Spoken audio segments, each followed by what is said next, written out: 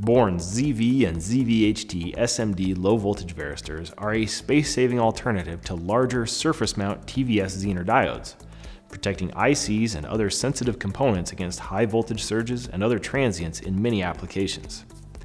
The multi-layered varistors offer excellent transient energy absorption due to improved energy volume distribution and power dissipation. They can handle peak surge currents up to 1200 amps and pulse surges up to 12.2 joules. ZV and ZVHT series varistors cover DC operating voltages from 3 to 170 volts and offer reliable protection with a short response time and low clamping voltage.